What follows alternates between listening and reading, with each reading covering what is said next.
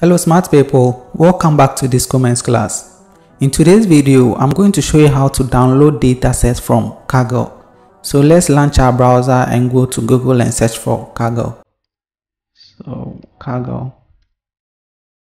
And now you see the first link. Okay, so Kaggle is a data science competition platform, an online community of data scientists and machine learning practitioners.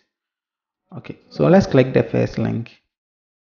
When you click on the first link, it will take you to Kaggle's website. So before you can download a dataset, you need to log in.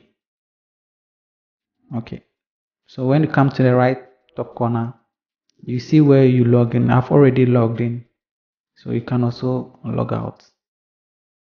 Okay, so this platform, you can do many things. You can download datasets, you can upload datasets. So I have my own datasets here, which I uploaded some years ago, and you can put in some notes here. You can also join the competition, which also comes with a price. You can do discussion, and also you can take some courses. And you can read on my, you can watch my previous videos, which I did um, a course which you can take in Kaggle. Okay, so here's my data set. Okay, so let's go straight to the point. Let's go to data set. Now you click on the data set. So we have the categories. If you want all the data sets, you want um, computer science education, classification.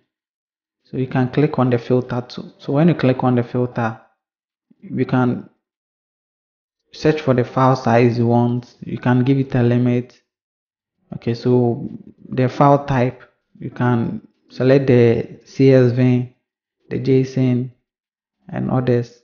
Okay. So we have a lot of we have over 10 million data sets here. 10 million data sets. So all what you need is to search. Okay so let me click on the all and see what you see here. Okay so let's click on this one so here you can have the active hotness the recently viewed the published the up, updated the visibility and the more votes. Okay so sometimes when you click on the more votes the most votes you see the ones people have um, recommended and also using and also they're recently used. But based on what you want to do you search the data set you want. Okay so you can see we have the cyberbullying tweet okay so we have the data set here. We have the population collapse time series data of the world. So this one is um this one is linear regression. That is time series analysis. So we have the classification and the linear regression. And we have the cluster. Okay so we have the e-commerce. So let's say we are searching for um, medicine data sets. Click on it. So you can see we have a lot of medicine data sets. We have medicine prices in brazil. Okay. We have um z to z medicine data sets in india. Okay. We have medicine descriptions. Okay. We have the covid open the covid-19 open research data set challenge. Okay Mm. Okay, so let's take one. Let's say let's um, search for housing, housing pricing. So let's search for housing pricing. Okay, so those who are old in data science and machine learning, I think you've used the Boston housing pricing before. So you can say it's six years ago so we have the the housing data set. So let's choose the california housing prices. Okay.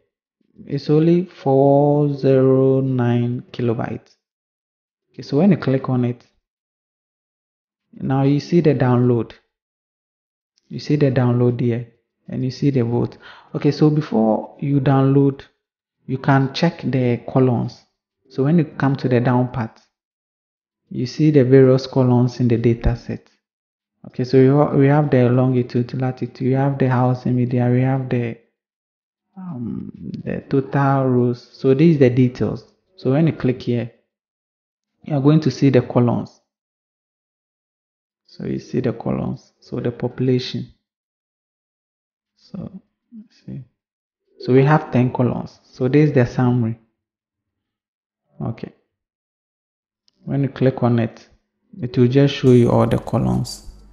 That is the um, data type whether string or okay. So yet we can download the dataset from here straight away. And you can read more about your dataset before you download. Sometimes you download a dataset which is not what you want. So you come to the detail. You read on the the columns and so when you go top here you see the about data dataset so you see it's a data secondary um, data set runs on machine learning, scikit-learn, and um, TensorFlow. Okay.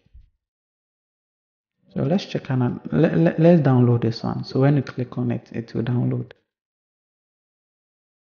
It won't take time. So you see.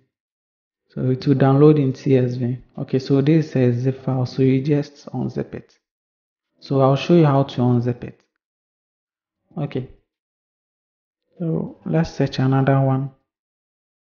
Um okay, shop.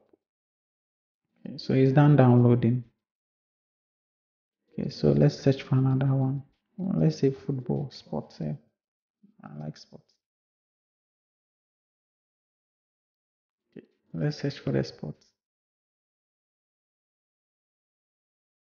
Hmm. It's a lot.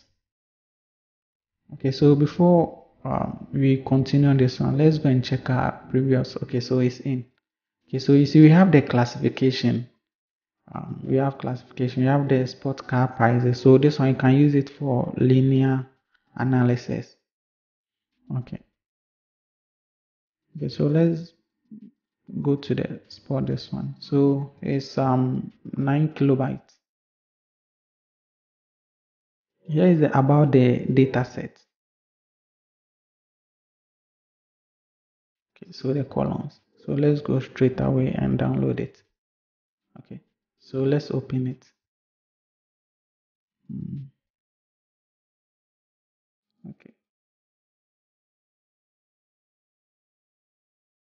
So you see the data set set for the sports. which is very easy to do your analysis and also do your machine learning. Okay, so let's try the other one too. We downloaded two, so let's open the other one. So this was the California housing. Okay, so the housing, let's open it. Okay. So if you remember, we saw lat longitude, latitude, the house, and the total rooms, the population. Okay. So that is all for today's video.